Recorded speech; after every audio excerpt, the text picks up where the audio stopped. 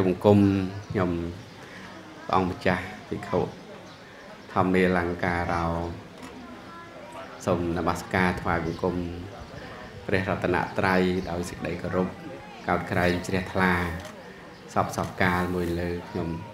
កណ្ណាសូមក្រាបថ្វាយបង្គំព្រះឧត្តមសេលញៀនព្រះមេគុណខេត្តបន្ទាយមានជ័យព្រះសតតមនីព្រះនុគុណស្រុកពនិតព្រះនិង អង្គគ្រូចាតកាមន្ត្រីសង្ឃគ្រប់អង្គបានគង់ជាធិបតីធ្វើសេចក្តីរាប់អានចំពោះសំណាក់សិស្សគ្រប់រូបដែលបានគង់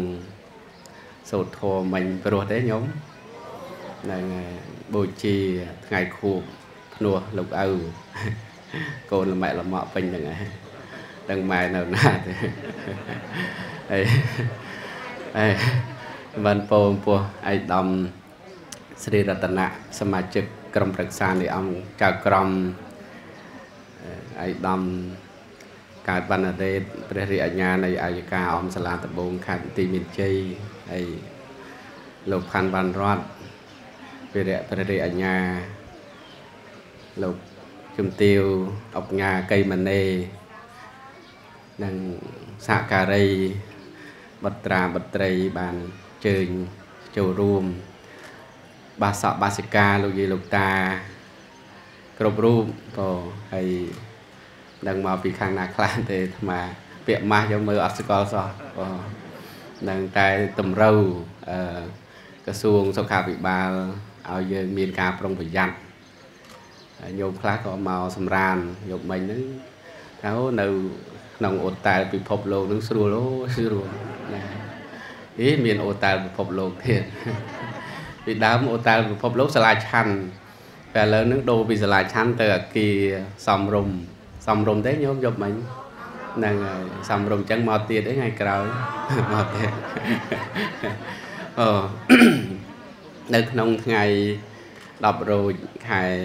មេឆ្នាំឆ្លូវត្រីស័កពុទ្ធសករាជ2565ត្រូវថ្ងៃ ទី26ខែកុម្ភៈឆ្នាំ2022ថ្ងៃនេះវត្តប្រាសាទស្រះកណ្ដាលខ្ចាស់ក៏ដូចឆ្នាំមុនថ្ងៃនេះដូចគ្នា គឺមានពិធីជួបជុំសំណាក់សិស្សពុទ្ធបរិស័ទហើយជាពិសេសគឺក្រមអធិបតីភាពព្រះមន្ត្រីសង្ឃព្រះមេគុណខេត្តព្រះគ្រូនុគុណសំណាក់មិត្តនិងសប្រមចារីមានព្រះអង្គគ្រូសេងសៀបគុណចាស់ ចាតកាវត្តលួងព្រះអង្គគ្រូចាតកាវត្តបោយចាគុណចាស់ឡយសមឿនហើយគុណចាស់វត្តឡមកនិងគុណចាស់ច្រើនអង្គទៀតណាបានមុនអង្គខ្លះក៏មកពីល្ងាចថ្ងៃសៅរ៍អាទិត្យហ្នឹងគុណចាស់អង្គខ្លះរៀនអញ្ចឹងឆ្លៀតមកពីម្សិលថ្ងៃសុក្រដោយទឹកទឹកតីទឹកចិត្តស្រឡាញ់ហើយញោមនៅខាងបាត់ដំបងทั้ง ប្រុងថាអត់មកដែរប៉ុន្តែដូចអត់មិនបានណាណានឹងអត់មិនបានដូចធ្លាប់មកដល់ពេលធ្លាប់មកនៅវត្តយើងនេះដូចឯកឧត្តមលោកជំទាវអស់លោកបានដឹងហើយហើយជាពិសេសគណៈធិបតីថ្ងៃនេះ លោកផាន់វ៉ាន់រតហើយនឹងភរិយារបស់គាត់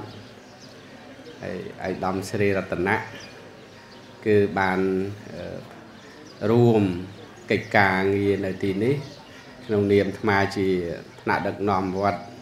ចាប់ពីឆ្នាំ2013មកហ្នឹងហើយកាលនោះអឺលោកផាន់វណ្ណរតជាព្រះរាជអាជ្ញាខេត្តបន្ទាយមានជ័យដែលអញ្ចឹងគាត់មានសេចក្តីជ្រះថ្លាជាមួយនឹងវិស័យពុទ្ធកសិក្សាហើយរូបភាពចាស់ចាស់អឺ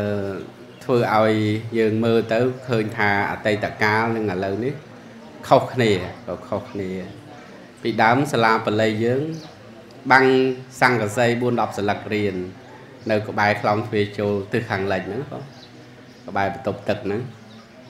ដល់ពេលក្រោយមកក៏មាន ការផ្ដួចផ្ដើមឧបត្ថម្ភពីលោកផាន់វ៉ាន់រតឯ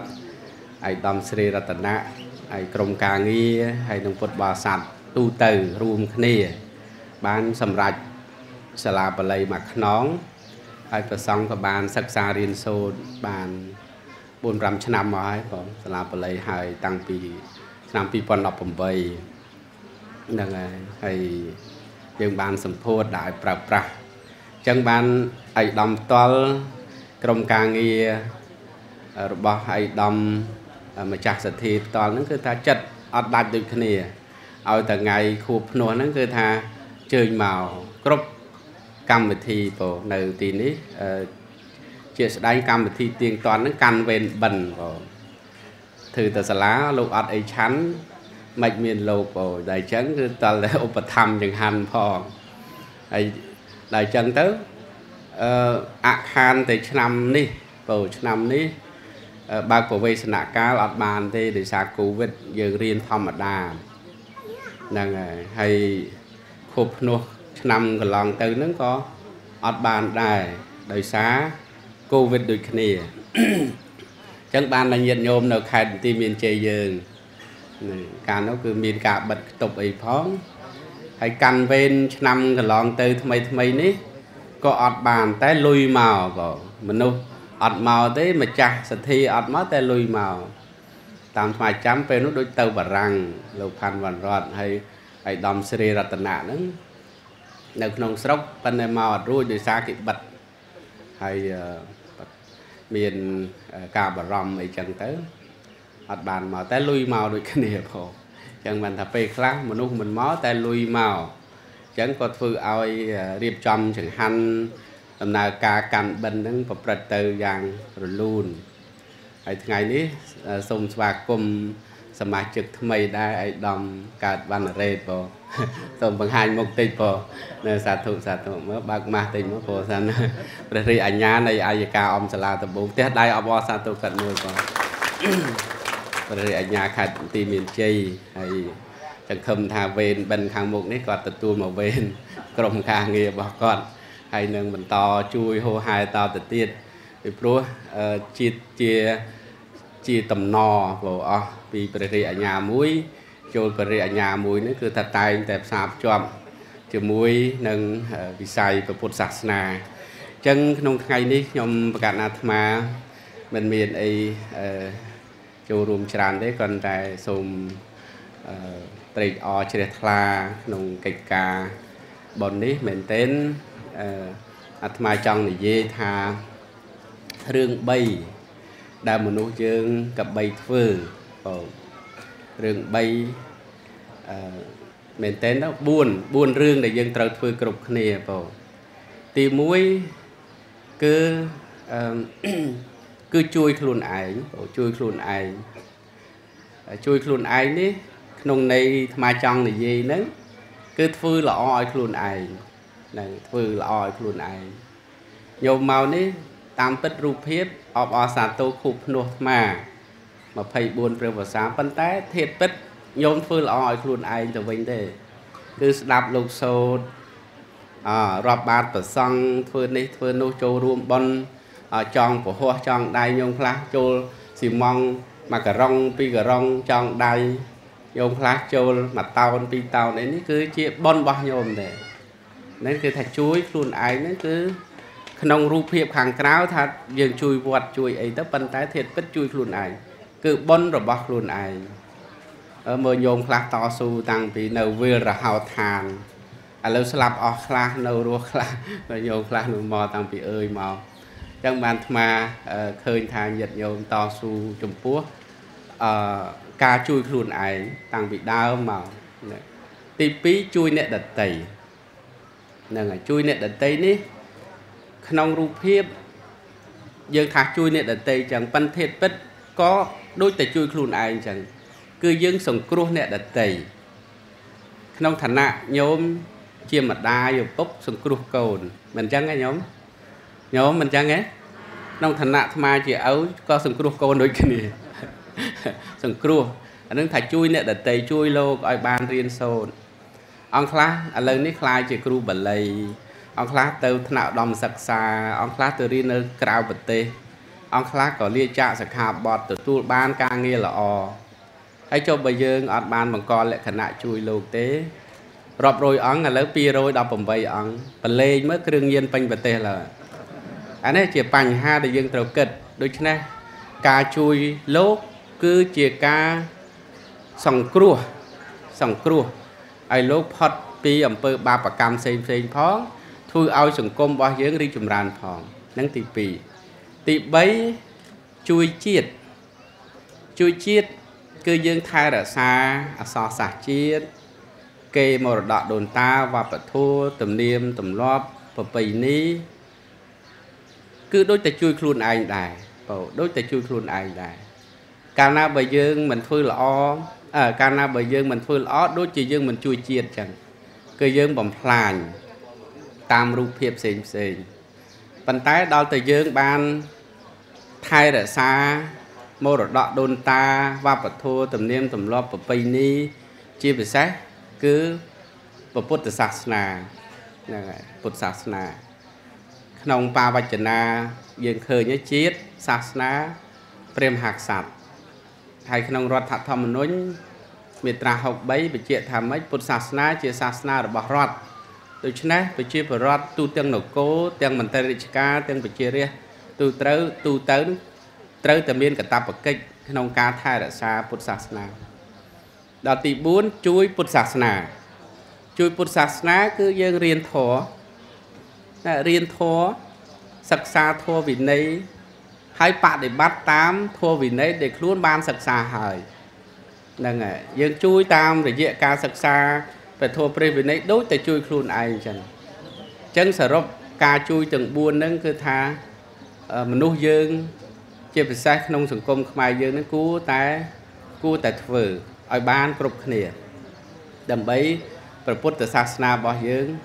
រុងរឿងរីកចម្រើនបាទហើយញោមពេលខ្លះមើលមកជីវិតលោកគិតថាលោកបួសស្រួលអូស្រួល ពេលដែលញោមមានវិបត្តិមានទុក្ខដូចថ្មនិយាយពឹកមិញអញ្ចឹងប៉ុន្តែលោកមើលមកញោមពេលខ្លះក៏លោកគិតថាញោមស្រួលអូស្រួលអាត្មានឹងវេទនាអូវេទនាបាយល្ងាយក៏អត់ស្អីក៏អត់ទុកតែតបកភ្នែកញាក់ដាក់គេក៏មិនបានអីចឹងអានេះការគិតវាអញ្ចឹងបើរូបភាពខាងក្រៅវាអាចទៅអញ្ចឹងក៏ប៉ុន្តែសេចក្តីសុខពិតប្រកបនៅក្នុងចិត្តរបស់យើងឯងអ្នកបួសសេចក្តីសុខបែបអ្នកបួសកុហក ប្រសក់សេចក្តីសុខរបស់ប្រសក់ចឹងហើយបានមានរឿងនិយាយនៅស្រុកយើងហ្នឹងនៅវត្តអណាឡោមញោមដែលទៅពេញវត្តណាឡោមវត្តណាឡោមនៅមាត់ទន្លេហ្នឹងហើយមានមានអឺមានគេជិះឡានជិះម៉ូតូអីខ្លះក៏អង្គុយនៅមាត់ទន្លេហ្នឹងមានអឺមកគូហ្នឹងគាត់កាត់ទុក បើខាងបរោះណាគាត់កាត់ទុកគាត់ជពាក់អង្ការផងគាត់ប្រពន្ធថាឲ្យផងតែទៅជេរផងផងក៏មិនដឹងដែរមុខលខ្មៅមកកាត់ទុកហើយងើយទៅលើទៅឃើញកត់លោកនៅមុខវត្តណាឡោមបងឃើញទៅចេះអង្គុយគិតបើបួសជាលោកស្រួលអូយស្រួល ឯងនេះវេទនាពុនថាឲ្យអត់ការងារធ្វើជពាក់គេអង្គការមកទាព្រឹកងារបើបួសមិនដឹងស្រួលប៉ុណ្ណាទេគិតចឹងលោកនោះអង្គុយពីលើមកមើលមកក្រោមគិតដែរបើមានជីវិតគូដូចគេនៅមាត់ទលេមនឹងស្រួលប៉ុណ្ណាទេនេះដឹងល្អប៉ុណ្ណាទេឯងហើយព្រឹកក៏មាសកាអ្នកមោតាសាភិកវៈតោ ងាកឡើងក៏មាសកាអ្នកមោតាសាភិកវៈតោមើលទៅគេគេអង្គុយសាសងអីនឹងស្រួលប៉ុណ្ណាទេហើយដឹងចុះឡើងចុះឡើងម្នាក់ប្រុសហ្នឹងក៏ចូលទៅវត្តទៅជួបលោកនឹងជួបលោកលោកនឹងក៏ចុះពីលើមកក៏ជួបនៅក្រោមគាត់លោកហ្នឹងក៏និយាយគ្នាមិនញោមនៅប្រសក់ស្រួលអត់អាត្មាដូចចង់សឹកហើយអីនោះប្រ សក់នោះថាលំចាយបួសជាលោកស្រួលអត់កណាចង់បួសដោយវេទនានិយាយគ្នាណាបងនិយាយគ្នាអានឹងតលសាកបានដឹងដល់សាកទៅដឹងមែនញោមមិនស្រួលណាហ្នឹងហើយសឹកទៅបានប្រពន្ធជាពីអង្គការដូចបងនឹងនិយាយចឹងបងហើយម្នាក់ប្រុសហ្នឹងតែថាលោកស្រួលបួសទៅ ចង់តែសឹកទៅដឹងស្រួលអីទេ អាបាយងាយក៏អត់អីក៏អត់ទៅណាមកណាក៏ទៅមិនបាន យើងលងខោអៅខុសគេផងតែអញ្ចឹងបានគិតថាអូអាគំនិតហ្នឹងវាផ្សេងព្រោះអញ្ចឹងបានអាត្មាតែនិយាយថារឿងនិទានវាមិនដូចរឿងពិតទេចង់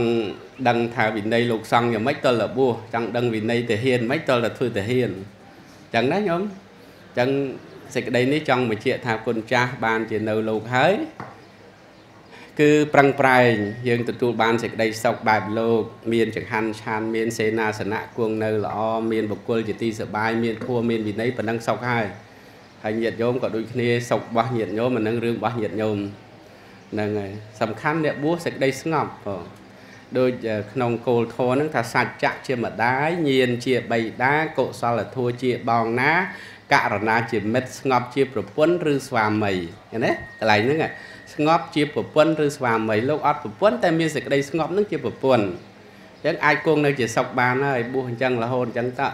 ហ្នឹងហើយសូមអនុមោទនីតែអញ្ចឹងចឹងចូលរួមប៉ុណ្ណឹងណាដោយសារកម្មវិធីមានតទៀតសូមអរគុណ